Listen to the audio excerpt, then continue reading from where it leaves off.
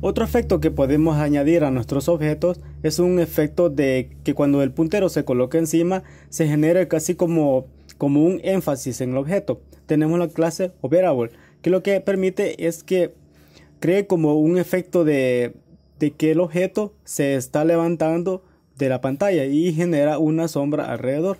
Tenemos aquí este diseño, le vamos a agregar simplemente la clase Hoverable y vamos a ver el comportamiento que tiene. Este objeto eh, que, tengo acá es este que se encuentra acá, así que voy a recargar y vemos este efecto que parece como que si se, se levantara el objeto, como que se acercara. Podemos ver aquí una sombra y se la podemos agregar absolutamente a cualquier objeto, así que se la agrego acá y podemos ver también como el objeto parece que se estuviera levantando.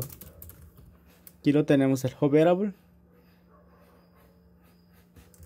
y también se lo podemos agregar alguna imagen para que se dé un efecto más atractivo. Operable. Ah, me equivoqué acá. Era en class Operable. Entonces aquí lo tenemos este efecto. Inclusive se lo podemos agregar a algún botón aunque para botones ya hay otros efectos, pero igual se lo podemos agregar a lo que sea, dependiendo del efecto que queramos causar en cada uno de los elementos.